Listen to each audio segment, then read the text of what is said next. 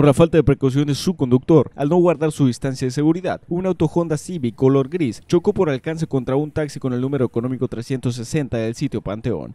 El accidente sucedió la tarde del lunes en el Boulevard Lázaro Cárdenas, entre las calles Morelos y Madero, frente a la funeraria Los Ángeles.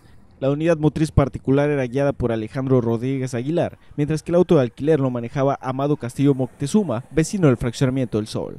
Los daños en ambas unidades fueron leves y mediante la intervención de peritos de tránsito municipal, los participantes llegaron a un acuerdo para el pago de las pérdidas materiales.